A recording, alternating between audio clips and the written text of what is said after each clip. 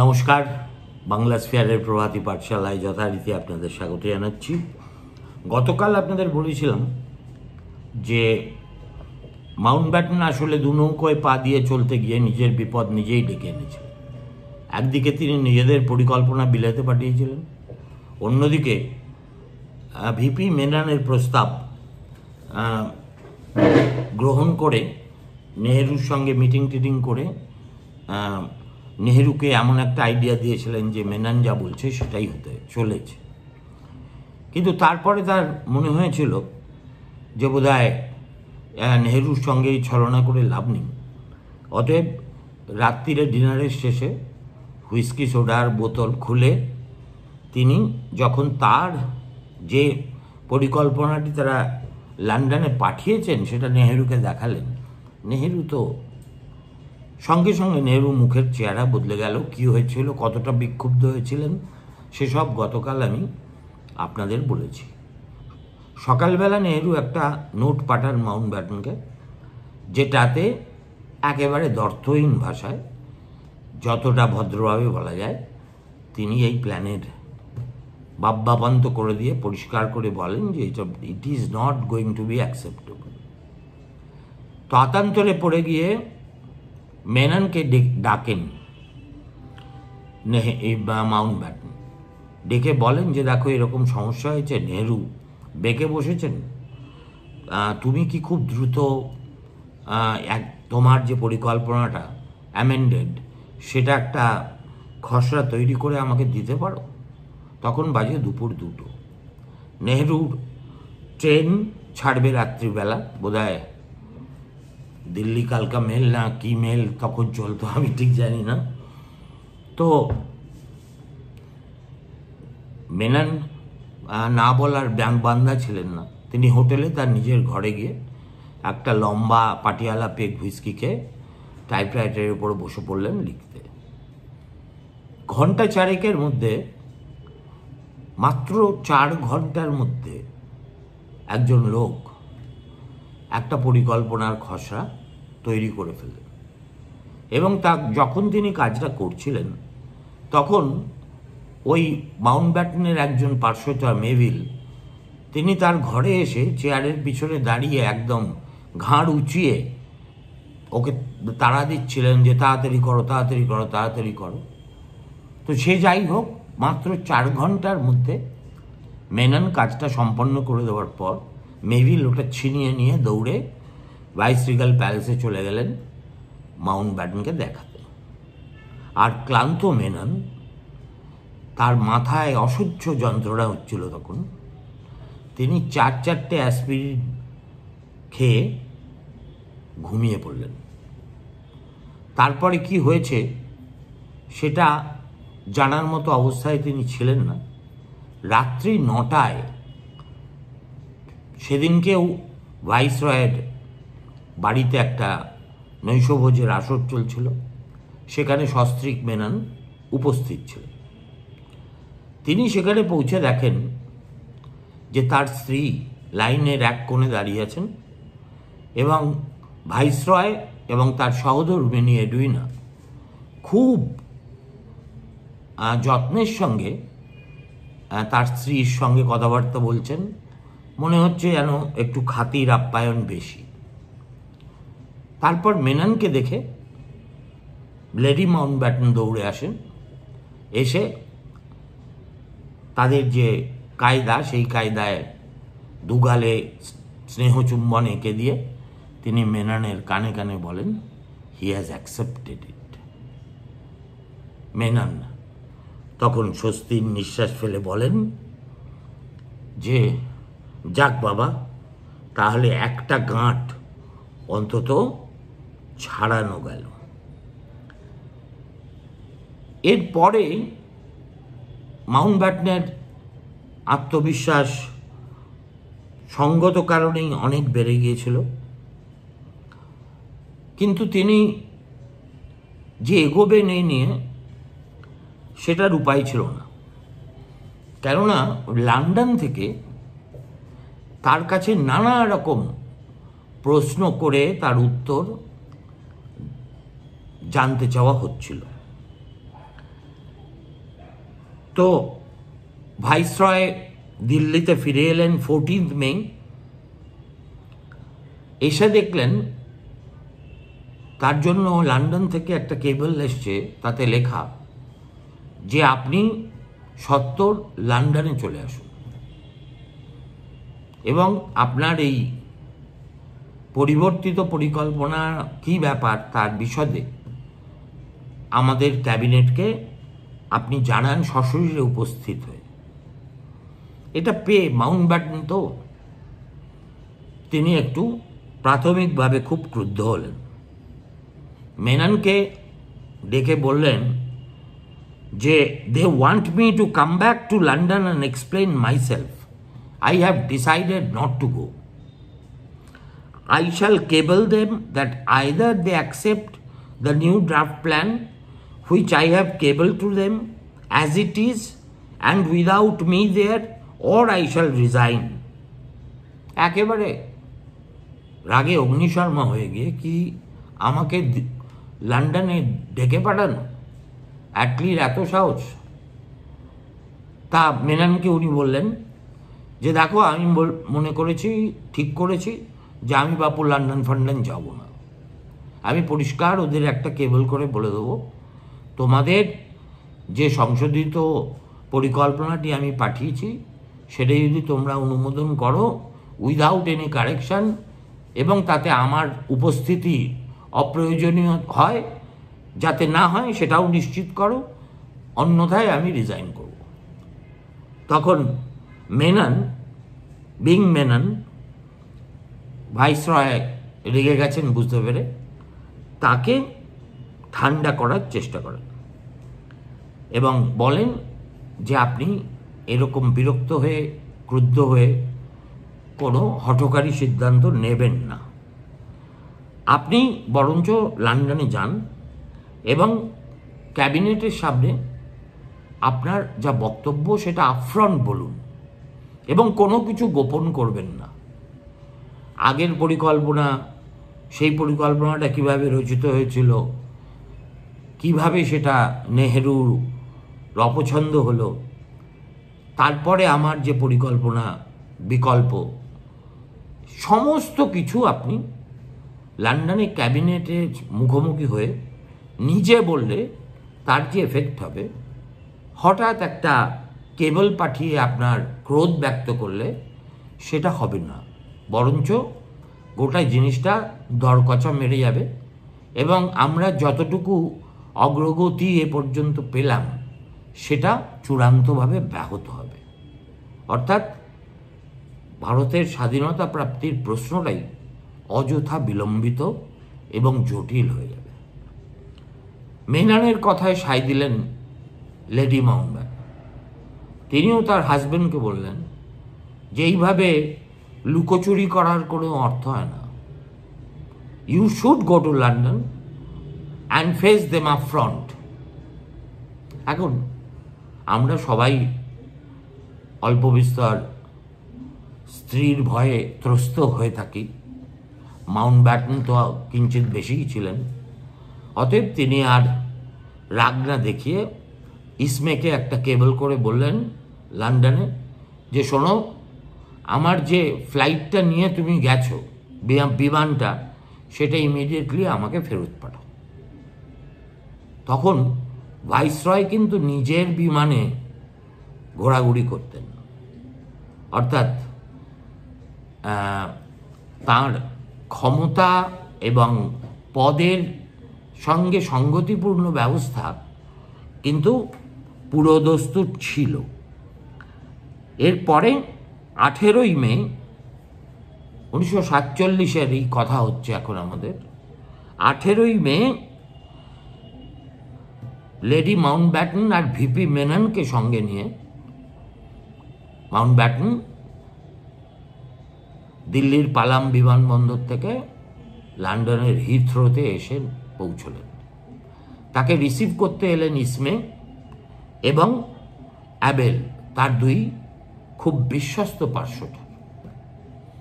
গাড়ি করে যাওয়ার সময় তারা ভেমেন্টলি মেনানের দেওয়া প্রস্তাবের বিরোধিতা করলেন। করে বললেন যে এটা আমাদের পক্ষে হারাকেরি হবে। বরঞ্চ আমরা যে পরিকল্পনাটা করেছি, সেই পরিকল্পনাটাই আমাদের স্টিক করে থাকা উচিত। কিন্তু মাউন্ট ব্যাটন আর তাদের কথায় কর্ণপাত করলেন না। দশ নম্বর জনপদ দশ নম্বর ডাউনিং স্ট্রিটে সরি যেটা ব্রিটিশ প্রাইম মিনিস্টারের বাড়ি আদি অনন্তকাল ধরে, সেখানে ক্যাবিনেটের মিটিংয়ে এই পরিবর্তিত পরিকল্পনা পাস হয়ে গেল মাত্র পাঁচ মিনিটের মধ্যে। এই পাঁচ মিনিটের জন্য মাউন্ট ব্যাটনকে সেই দিল্লি থেকে লন্ডন যেতে হলো এবং লন্ডন থেকে তাদের সম্মতি নিতে হলো সশরীরে উপস্থিত থেকে।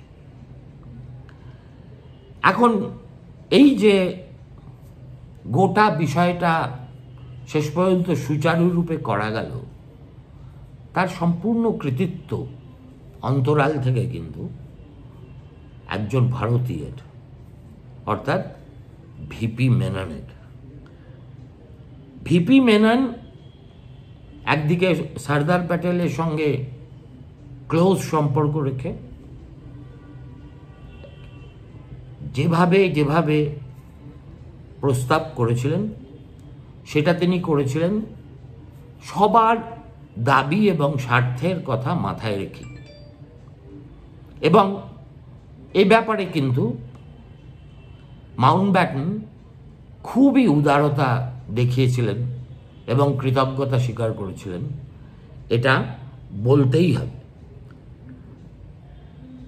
অনেক দিন পরে, বেশ কিছুদিন পরে, একেবারে মাউন্ট ব্যাটনকে দেশভাগ টেশভাগ হয়ে গেছে, তিনি ফিরে গেছেন লন্ডনে।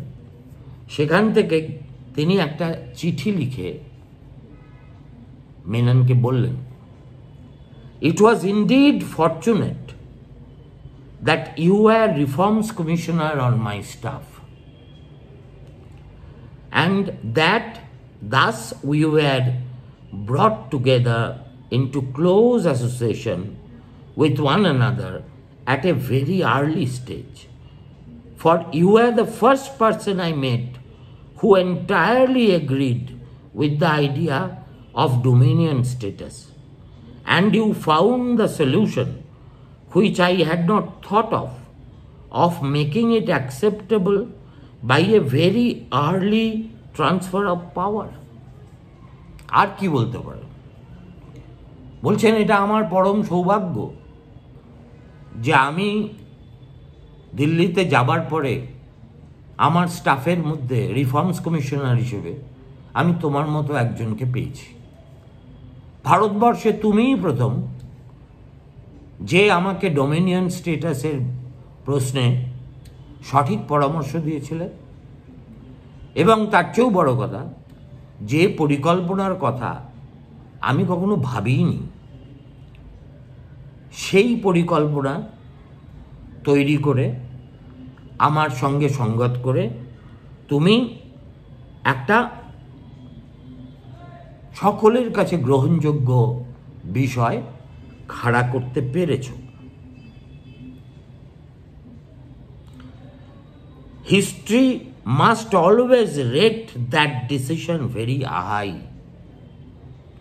and I owe it to your advice advice given in the teeth of considerable opposition from other advisers এখানে একেবারে খোলাখুলি বলেছেন বলছেন যে দেখো, তোমার এই যে সিদ্ধান্ত, আমি এ ব্যাপারে নিশ্চিত যে ভবিষ্যৎ ইতিহাস তাকে যথাযথ গুরুত্ব দেবে। দিয়েছে কিনা সেটা আপনারা বলতে পারবেন। আমার তো মনে হয় না যে ক্ষমতা হস্তান্তরের ইতিহাসে ভিপি মেননের নামটি আমরা যথেষ্ট গুরুত্বের সঙ্গে আদৌ আলোচনা করেছি বা করছি বা ভবিষ্যতে করব। আমাদের সব আলোচনায় গান্ধী, নেহরু, জিন্না, প্যাটেল ইত্যাদির মধ্যে সীমাবদ্ধ থাকে। কিন্তু একজন ভারতীয় আমলা, তার যে এই বিস্ময়কর ঐতিহাসিক ভূমিকা, সেটা ভারত ইতিহাসে কতটা গুরুত্বের সঙ্গে আলোচিত হয় বা বড়ানো হয়, আমার সে ব্যাপারে যথেষ্ট সন্দেহ আছে। এবং মেনন যদি এই পরামর্শ না দিতেন, তাহলে তার অবস্থা বা পরিণতি কি হতো, সেটা তিনি কিন্তু ক্যাম্পেল জনসনকে বলেছিলেন। ক্যাম্পবেল জনসন আবার তার বইতে সে কথা লিখেছেন। ক্যাম্পবেলকে মাউন্ট ব্যাটন বলেছিলেন, দেখো। Dickie Mountbatten would have been sunk and could have packed his bags Menon যদি এই পরামর্শ না দিত, তাহলে আমার কপালে ছিল অতল গহ্বরে ডুবে যাওয়া এবং ব্যাগপত্র গুছিয়ে আবার স্বদেশে ফিরে আসা। সে তো হলো। একটা পরিকল্পনা হলো। নেহেরুর সম্মতি আদায় করা গেল। তারপর তিনি দিল্লি থেকে বা লন্ডনে গিয়ে এক কথায় ক্যাবিনেটের অনুমোদনও নিয়ে নিলেন। তবু দেশটার নাম তো ভারতবর্ষ। এত মানুষের দেশ। এত রকম স্বার্থ রক্ষার তাগিদ। এত রকম চোরা স্রোত তার ভিতর দিয়ে বয়ে চলেছে। অতএব একটা পরিকল্পনার খসড়া। নেহেরু সম্মতি জানিয়েছেন বলেই সেটা সর্বসম্মতভাবে পাশ হয়ে যাবে বিনা বাধায়, বিনা ক্লেশে। সেটা মনে করাও তো একটু বাড়াবাড়ি রকম আশাবাদী হয়ে যাওয়া যাবে। সে যাই হোক, ভারতবর্ষে ফিরে আসার পরে লন্ডন থেকে সেকেন্ড জুন পূর্ব পরিকল্পনা মতোই তিনি তিন পক্ষকে ডাকলেন ভাইসরিগাল প্যালেসে এবং তার যে পরিকল্পনা সেটা নিয়ে আলোচনা করার জন্য। প্রথমেই বাদ সাধলেন মোহাম্মদ আলী জিন্না তিনি বললেন যে আমার পশ্চিম পাকিস্তান আর পূর্ব পাকিস্তানের মধ্যে এক হাজার মাইলের ব্যবধান। অতএব আমাকে এই দুই জায়গার মধ্যে সংযোগ তৈরি করার জন্য একটা থাউজেন্ড কিলোমিটার লং করিডরের ব্যবস্থা করে দিতে হবে। ন্যাচারালি কংগ্রেস একেবারে ক্ষিপ্ত হয়ে উঠল। জিন্নার এই প্রস্তাব দেখে। এবং অচিরেই তারা বুঝতে পারল যে না, এটা জিন্নার ফিলিবাস্টারিং, এটা একটু আসর জমাতে হয় বলে বা নিজের গুরুত্ব বাড়াতে হয় বলে জিন্না বলছে। আদতে এরকম কিছু যে হবে না, হওয়া অসম্ভব সেটা জিন্নাও খুব ভালো জানেন। এদিকে গান্ধী তখনও পর্যন্ত তার অবস্থানে চূড়ান্তভাবে অনমনীয় হয়ে আছে এবং সর্বত্র বলে বেড়াচ্ছেন যে partition of the country is not the solution এবং তিনি কংগ্রেস নেতাদের ডেকে বললেন যে, দেখো let it not be said that Gandhi was a party to India's vivisection ভবিষ্যৎ প্রজন্ম যেন কথা বলার কোনো সুযোগই না পায় যে, গান্ধী এই দেশটাকে দ্বিখণ্ডিত করার প্রস্তাবে সম্মতি জানিয়েছিলেন। কিন্তু গান্ধী নিজেই পরে লিখেছেন but every one today is impatient for independence Congress has practically decided to accept partition they have been handed a wooden loaf কাঠের তৈরি পাউরুটি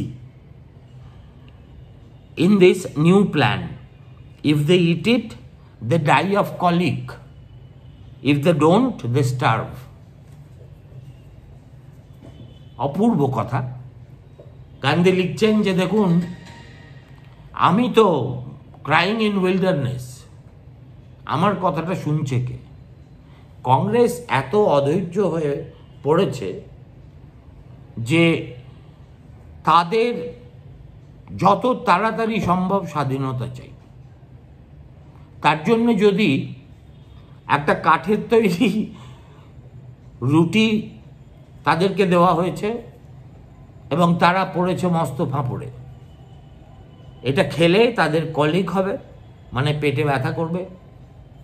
আর না খেলে তাদের বুভুক্ষু হয়ে থাকতে হবে। গান্ধী ঠিক করলেন যে আরও একবার একবার তো তিনি ভাইসরয়ের সঙ্গে দেখা করে প্লিট করেছিলেন, তারপরে আবার ভাইসরয়ের সেই ঘরে একই সময় জিন্না এসেছিলেন। ভাইসরয়ের দৌত্যে জিন্না এবং গান্ধী আওরঙ্গজেব রোডে জিন্নার বাড়িতে বসেছিলেন। ঘণ্টা দুয়েক আলোচনা হয়েছিল। কিন্তু জিন্নার মনকে তিনি গলাতে পারেননি। দু ঘণ্টার সেই আলোচনার শেষে দুজনে একটা বিবৃতি দিয়েছিলেন এবং সেই বিবৃতিতে খুব সৎভাবে একে অন্যের, প্রত্যেকের দুজনের কি অবস্থান পাকিস্তানের প্রশ্নে সেটা জানিয়ে দিয়েছিলেন।